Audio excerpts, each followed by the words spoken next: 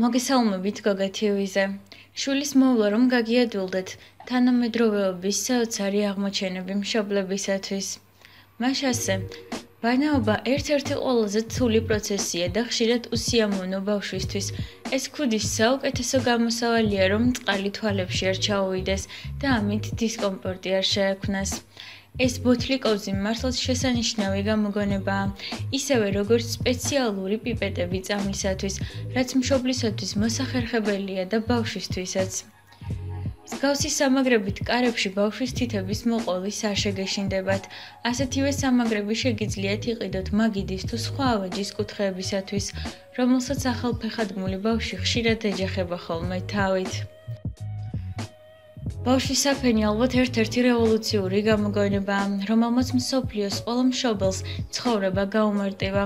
თუმცა მწარმოებლები ამაზე არ გაჩერებულან და მუდმივად ხვეწენ საფენის დიზაინს, ფუნქციებს და ასე შემდეგ, რომ რაც შეიძლება კომფორტული იყოს ბავშვისთვის და მშობლისთვისაც.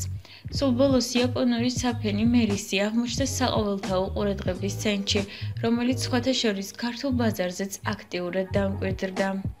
იაპონელებმა როგორც ყოველთვის ყოველს გაუსწრეს, მათ მიერ შექმნილი საფენები სამფენიანი ჰაერგამტარი სისტემისგან შედგება.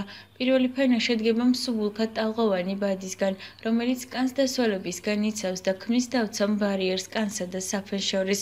მეორე ფენა არის მთავარი ფენა, რომელიც სითხეს თანთქავს.